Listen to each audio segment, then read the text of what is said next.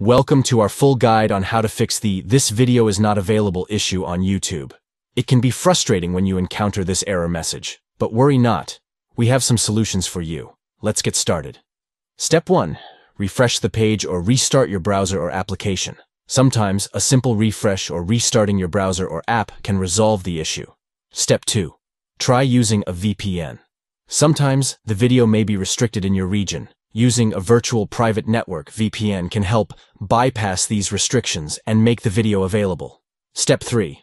Update the app. Outdated versions of the YouTube app may cause playback issues. Make sure you have the latest version installed on your device. Step 4. Clear the cache. Accumulated cache data can interfere with video playback. Clear the cache in your browser or app settings to ensure smooth streaming. Step 5. Change the video quality settings. Lower video quality options may be available if the original video is not accessible.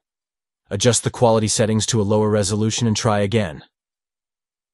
Step 6. If all else fails, uninstall and reinstall the YouTube app. This can help resolve any underlying issues or conflicts that may be causing the problem. By following these steps, you should be able to fix the this video is not available issue on YouTube and enjoy uninterrupted viewing.